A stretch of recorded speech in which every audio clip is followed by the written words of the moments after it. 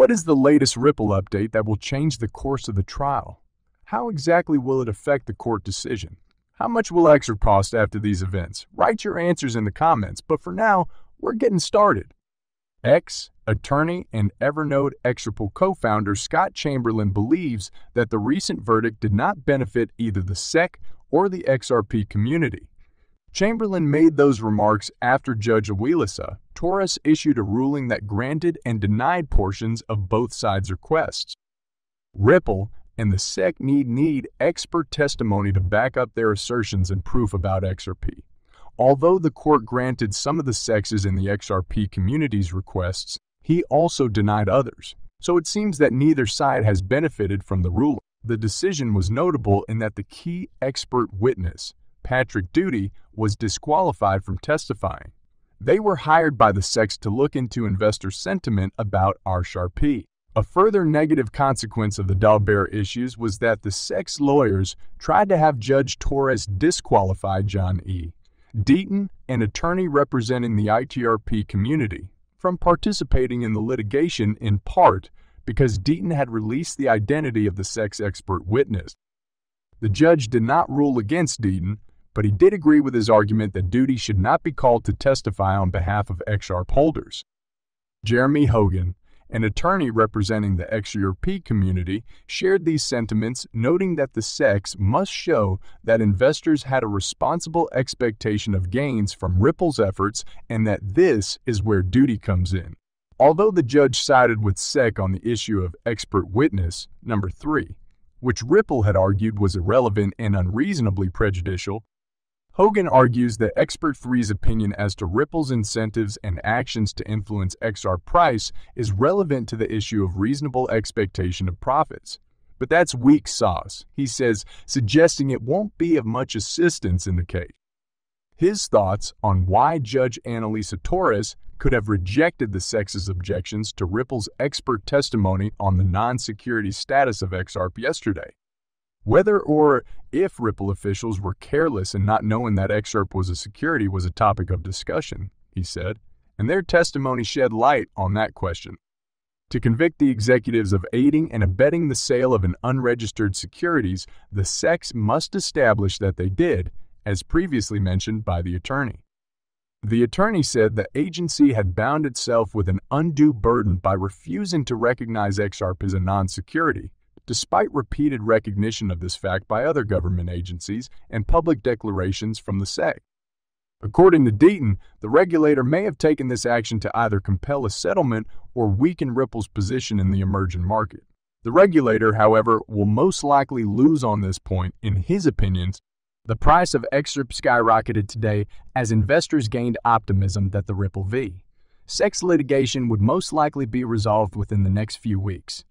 This indicates that we may finally be able to see an end to the legal stalemate we've been in.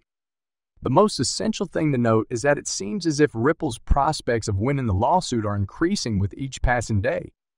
The long running issue that Ripple has been having with the Securities and Exchange Commission, SEC, of the United States might be resolved within the next few weeks.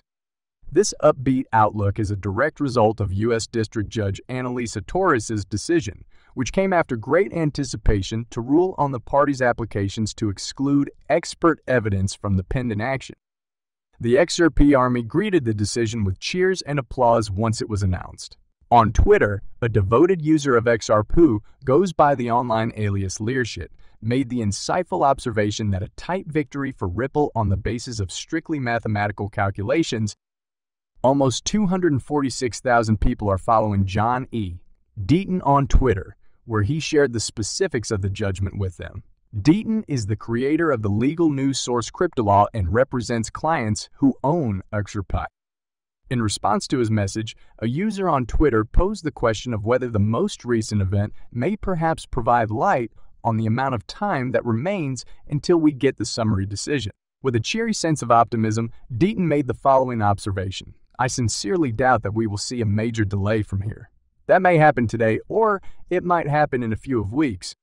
The Securities and Exchange Commission, SEC, filed a complaint against Ripple in December 2020, alleging that the company unlawfully marketed unregistered securities totaling $1, 3 cents billion worth of its XRP coin.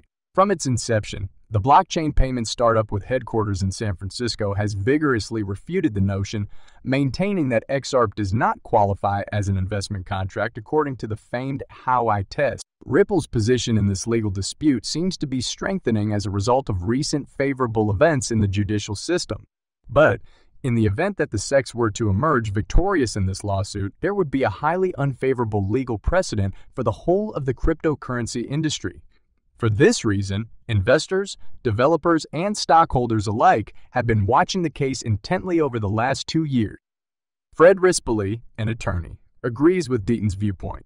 Rispoli expressed his belief that the most recent decision rendered by Judge Torres is evidence that a summary judgment is very, very near.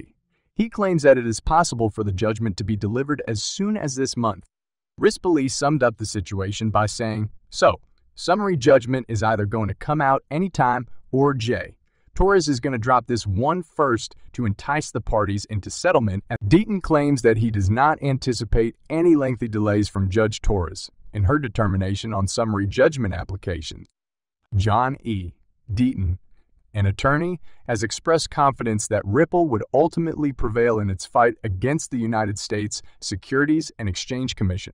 Today, in response to a tweet asking if the revelation of the judge's ruling on Daubert petitions provides any insights on the timeframe for her summary judgment decision. The creator of CryptoLaw, who represents thousands of XRP investors as a friend of the case, made this known. Deaton doubted there would be major holdups. As the lawyer pointed out, the judge's decision may come tonight or in a few weeks. According to today's reporting, the judge partially allowed and partially refused applications from both sides to strike out expert evidence in her Daubert motion finding. Judge Torres's rejection of the SEC's reliance on the aforementioned expert views in support of its arguments that XRP holders acquired the token with reasonable expectations of gains entirely from Ripple's efforts is noted in the report as a major victory for XRP holders. The attorney said last week that the verdict on whether XRP is a security might take up to two more months, so stay tuned.